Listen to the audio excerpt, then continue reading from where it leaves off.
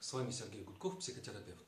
Сегодня мы разберем э, один вопрос, который в последнее время я слышу уже несколько раз. Какое правильное отношение к питанию? Не то, сколько правильно есть, как правильно есть, а вот само отношение к питанию. И здесь я хочу воспользоваться примером, особенно э, для тех, э, кто знаком, что такое работать и что-то делать на кухне.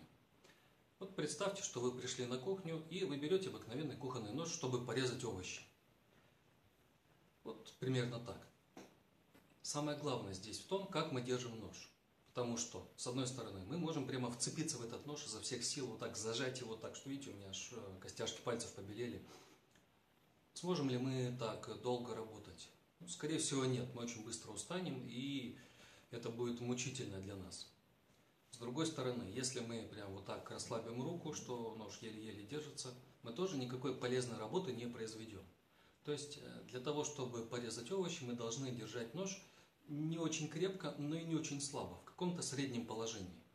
Вот. То же самое относится и к тому, сколько внимания мы должны уделять пище. То есть вот нормальное, здоровое, правильное отношение к пище – это когда мы уделяем ей внимание, но не слишком сильно, не вот, вот так, да, а тогда получается у нас навязчивость. Э, мы только делаем, что думаем про еду, что, как, сколько, сколько там, в конце концов, килокалорий, много съели или мало, да, это вот напряжение.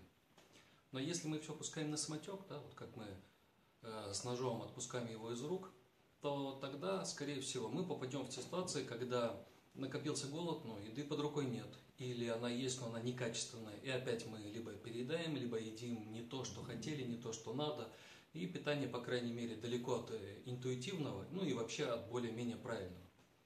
То есть э, правильное отношение к еде это такое, да? мы думаем про нее, мы хотя бы планируем, например, завтра будет работа, я буду там-то, там-то с утра до обеда или до вечера, и, скорее всего, примерно раз в 3-4 часа я захочу есть. Будет ли у меня там еда под рукой, если будет подходящая ли она в принципе.